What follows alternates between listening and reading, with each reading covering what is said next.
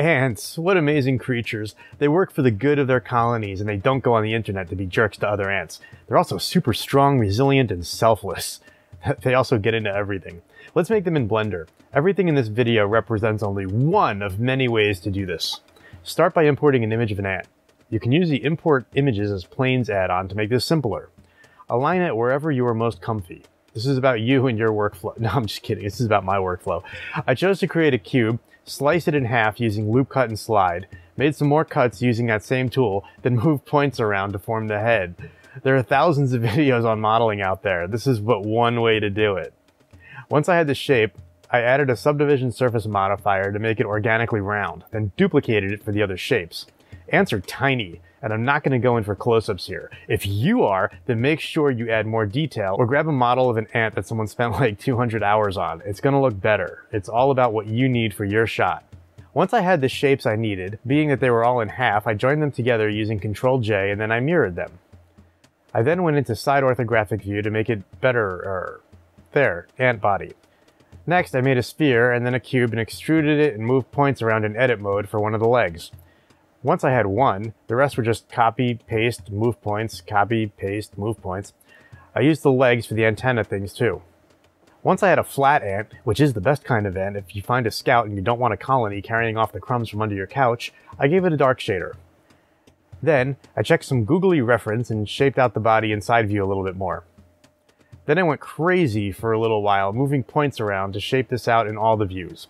I knew I wasn't going to get too close here, so I didn't add too much detail. Besides, this video is probably only going to get like five views anyway, so like, there's that. Oh, I gave him some eyes too, because I'm not, I'm not cruel, you know. Now, to make it move, we need a rig. There are awesome auto rigging add-ons available. I'll not be using any of them here because I want to keep it in vanilla blender if there's such a thing. I've seen it in the comments all over the place. Vanilla blender, like, oh, okay, oh, I get it. All right. So I added an armature and I positioned it to the main bone. Then use extrude to pull it out a few more times from this one. And then I went in the other direction. After that, I extruded out the legs in top view. But Kev, in other videos I saw they do it differently and more efficient. Shut up, Steve. I don't care. This works here. I spent a little time extruding them out and dragging them into place. Next, as I'd done in my Mandalorian video above, I named the ones on the side with an L in the name for left. That let me mirror the armature here and get an automatic other side. Now, somewhere here I screwed up the eyes, so I, I fixed them. Oops. I added antenna bones here and then parented them to the main head bone. This is just another way to do it aside from extruding.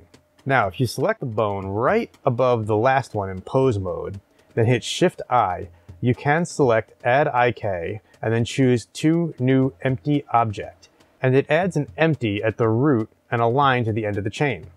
I had to shrink down the size of the empties here as my ant is tiny, but whatever. Once this is done, if you move the root in pose mode, the legs stay locked down. But Kev, the other bones are rotating and that's just stupid. I give it a thumbs down. Yeah, okay, okay, okay, I get it. To fix that, just select the bone still in pose mode, hit the green bone icon, go to relations, and uncheck inherit rotation for all of the feet bones. There, now the feet are locked as they should be. Now, I added one more bone to the mix as a control bone, then parented all the other bones to that one. Now, if I move that one, the whole thing moves nicely. Yay! Time to test this on the ant. I selected the ant and parented it to the armature, choosing automatic weights. This usually works. To test it, with the ant selected, you can go to Weight Paint, then check against each bone's vertex group under Object Data Properties for the ant object. It shows the bone influence weights, and you can paint to adjust here. Red is heavily influenced, and blue is none. It really takes playing around though to get the hang of it. Once I had what I wanted, I created a circle empty and parented everything to it so I had a nice little rigged ant package. I also named things correctly so that the patrons can use this in my Patreon, which the link is in the description, and they can use it really easily because it's up there and you can grab it now. I upload all the content from my videos to Patreon anyway, where I have like tons of content already up there from a few years of videos that I've been making. There's even a Houdini tier for those who want to go a bit further, but I digress. So to animate this thing, I looked it up and ants move by three and three. So I animated three legs up and three legs down, then animated the other legs. It took a little while to figure out their motion and what keyframes would work. In the end, I decided to animate them all as one group going up, then forward, then down, then dragging back. And then I just offset three of them in the timeline and they'd stagger, and that was way faster. I also knew that these would be from a distance. If I were to get close up, I'd really need to study ant locomotion and apply the 12 principles.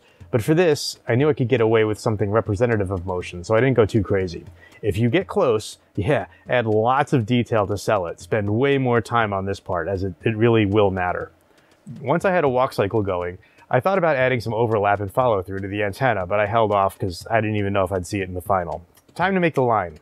I threw down a grid, then added a Bezier curve, hit tab to edit, selected all the points, and deleted them. That opens you up to the draw tool. If you choose surface and turn on shading, you can draw curves on objects. I go over that in the video above in way more detail. Here, I took a minute to put the ant in its own collection labeled ant1. This will be important in a minute or two. Once I had the curve, I was all ready to make the line. I know geometry nodes are all the rage now, and I'd use them in the spider video for this, but I decided to do this the old-fashioned way as geometry nodes scare some of you, and that's like, that's totally cool. Not everyone is technical, and this method is still valid. I created a single vert. If you don't see it, enable extra objects add-on and preferences add-ons. I moved the vert near the start of the curve, gave it a particle system, dropped down the number to like 150, then selected the curve, gave it a force field, chose curve guide once I found it, and hit play. And there, but Kev, I can't believe you forgot to make this emit from vertices instead of face. I know that from my expertise watching YouTube all day and night. You're so stupid. Yeah, yeah. Okay, okay, I get it. So I changed the particle system to emit from vertices instead of face, and there, like, now there's a line. In this setup, and it's not the best, lifetime controls speed. It's totally not intuitive, but it works here. Cool, I got moving spheres. Now I want them to be ants. I switched the render setting in particles to render as collection, then chose ants 1 like we just named before. Now I had tiny ants. I upped the scale in the particle system and there. There, there they are, they're moving. Yeah, these are stupid ants. Let's make them better. Rotate the main ant and it rotates the particles. Nice. But now they're not rotating with the curve. Yeah, okay. So check rotation, then check dynamic. There, done. See? Well, you still didn't do it in the correct order. Chill, dude. This is real life. Luckily for me here, ants rarely move in twisty curves like this unless there are obstacles. I can straighten out this curve and not worry about this stuff, but I threw it in here for fun anyway, just so you can see how it moves with the curve. To get some randomness now, I spent a little time duplicating the original single vert from before. I added two more, and I got a small bit of randomness. The more you add here, the more random they'll look. You can even do more collections with varied movement to really break it up. The cool thing is, if you move the curve, you can have them traverse the terrain without using raycasting. It just keeps things simpler. You can even use that ant landscape. See what I did there? I said ant, ant land, uh, whatever. You can draw the curve on the surface trick, and the ants travel over the terrain. Cool. Here I added a PBR floor texture, a few different ants, and there. For real, I'd add way more variation, but you get the gist. Make sure to watch the video on the drawing curves thing on surfaces. you will really like that next. Until next time, see ya.